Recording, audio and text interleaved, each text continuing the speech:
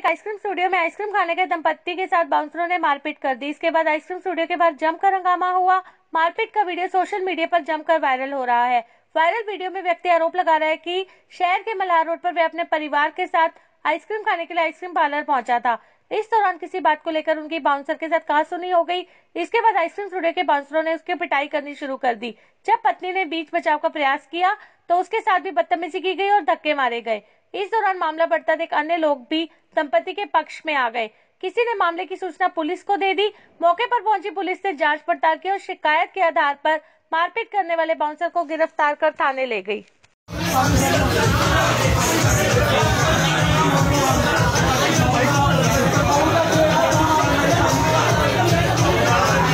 Ice cream studio ਖੜੇ ਆ ਜੀ। ਆ ਬੰਦੇ ਨੇ ਨਜਾਇਜ਼ ਕੀਤੀ ਜੀ ਫੈਮਿਲੀ ਨੂੰ ਕੁੱਟਿਆ ਜੀ ਇਹਨੇ। ਆ ਬੰਦੇ ਨੇ ਕੁੱਟਿਆ ਜੀ ਪੂਰੀ ਫੈਮਿਲੀ ਨੂੰ।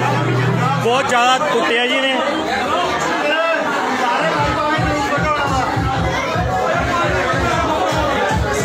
ਆਈਸਕ੍ਰੀਮ ਸਟੂਡੀਓ ਖੜੇ ਆ ਜੀ।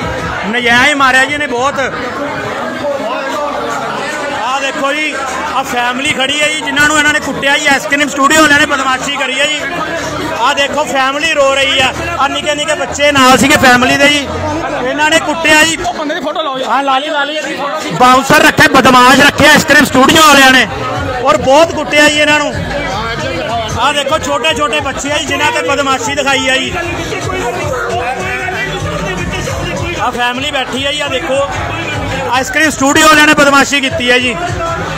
ਬਹੁਤ ਕਟਾਪਾ ਕੀਤਾ ਜੀ ਬਾਉਂਸਰ ਬਦਮਾਸ਼ ਰੱਖੇ ਇਹਨਾਂ ਨੇ। ਆ ਸਾਰੀ ਫੈਮਲੀਆਂ ਨਾਲ ਖੜੀਆਂ।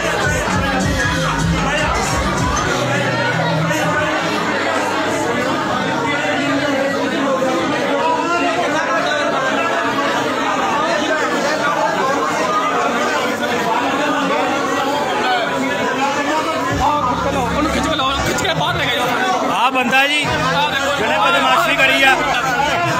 ਹਾਂ ਬਾਂਡਰੀ ਬਾਂਡਰੀ ਉੱਤੋਂ ਕਿਰਪਾਨ ਕੱਢ ਕੇ ਲਿਆ ਰਿਹਾ ਜੀ, ਕਿਰਪਾਨ ਕਿਰਪਾਨ ਕੱਢ ਕੇ ਕਹਿੰਦਾ ਵੱਡੂ ਆ। ਚਪੇੜਾ ਮਾਰੀਆਂ ਮਾਰੀਆਂ ਕਿਹਦੇ ਚਪੇੜਾ ਮਾਰੀਆਂ ਅੰਕਲ ਜੀ?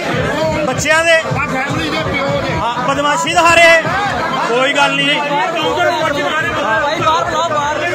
ਆ ਭਾਜੀ ਨੇ ਜੀ ਆ ਜਿਹੜੇ ਭਾਜੀ ਦੇ ਥੱਪੜ ਮਾਰੇ ਆ ਜੀ ਇਹਨਾਂ ਨੇ। ਆ ਬਾਉਂਸਰ ਆ ਬਦਮਾਸ਼ ਰੱਖਿਆ ਜੀ ਜਿਹੜਾ। ਬਾਹਰ ਕੱਢੋ ਇਹਨੂੰ। ਬਾਹਰ ਕੱਢੋ